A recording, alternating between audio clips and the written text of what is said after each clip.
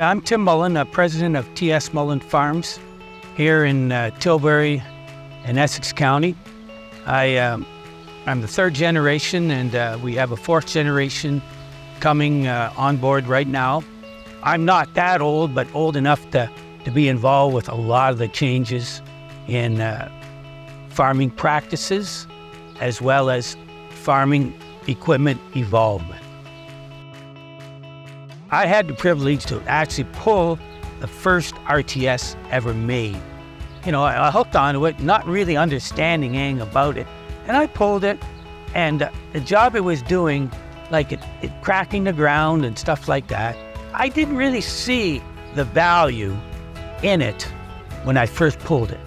I, I can remember I bought I bought uh, I bought my first RTS. I pulled it out in the field just up the road here, and I, I went down the field and I got out and I took a look. I got in the tractor, I circled around, and I went crossways, directly where I just went.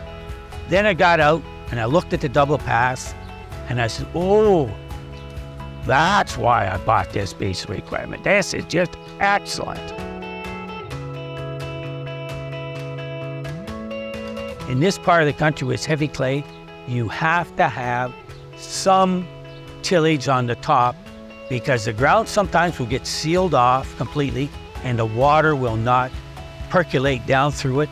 So uh, an RTS run at, a, at the way it's supposed to be run, actually with its independent coil coil shanks, will will actually shatter the ground inches below your actually worked area and then that allows for good, good air penetration as well as future moisture penetration to get in the ground. Uh, the RTS works excellent on, on chopping up residue, mixing a little bit of black dirt so the fodder can, can, can be exposed, exposed to the dirt and rot down quicker. You can use it and, and it eliminates a lot of other processes or other passes with a one pass piece of equipment. And that and that's everything today in, in agriculture. Eliminate passes over a field, eliminate uh, breaking down organic matter. You want to keep it intact. Um, burning up the structure of the soil is not where it's at.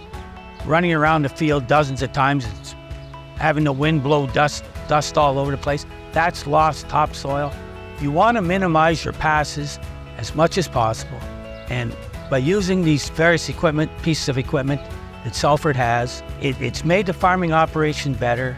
It's made the environment better. It's made my soil better for the future generations. And, um, and that's what it's all about.